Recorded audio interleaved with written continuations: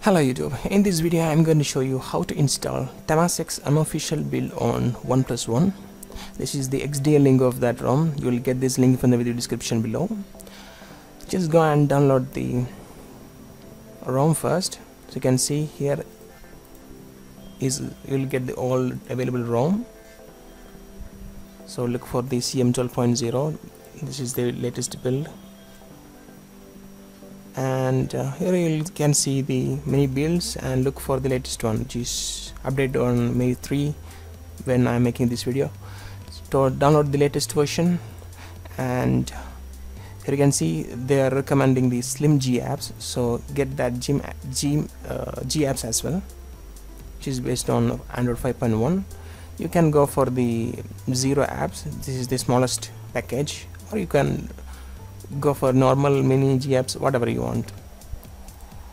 And here you can see I downloaded both ROM file and then GApps file. Now I'm going to copy this file to my OnePlus One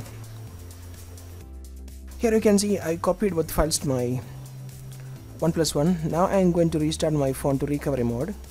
I'm using TWRP recovery. If you didn't flash that one there is a link in the video description which will show you how to flash TWRP on your OnePlus One to get enter into recovery mode you have to press volume down and power button at the same time. Press and hold them until this logo comes then release them.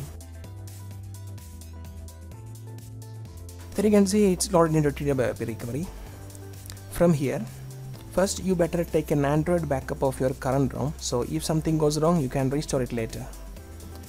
After that go and do a wipe and then do a factory reset wipe. You can do the factory reset wipe or you can also do the advanced wipe and select Dalvik cache system data and cache.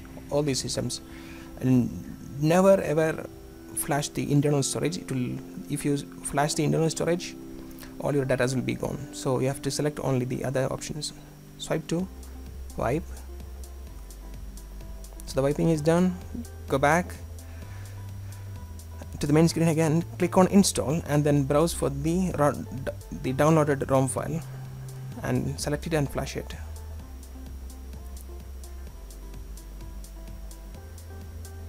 Okay after flashing the ROM file go back to home again and then click on install. This time you have you need to flash the GApps file. So that is also done.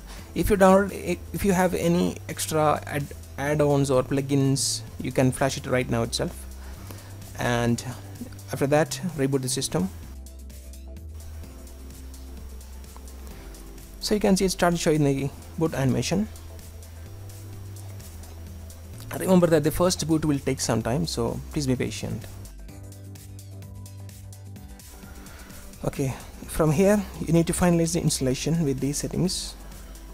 Select your language and then need to set up your Wi-Fi.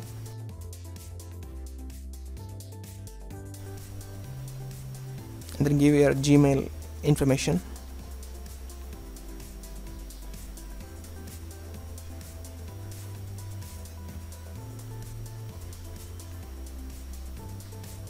So here you can see it's logged into the new ROM. If you go to the settings menu about phone you can find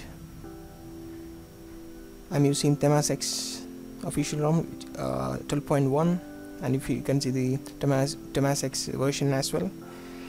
And other information. So this is how you can install this ROM. If you want to see the full review of this ROM there's a link in the description to show you that. Just go and check it out. Thanks for watching. Please subscribe for more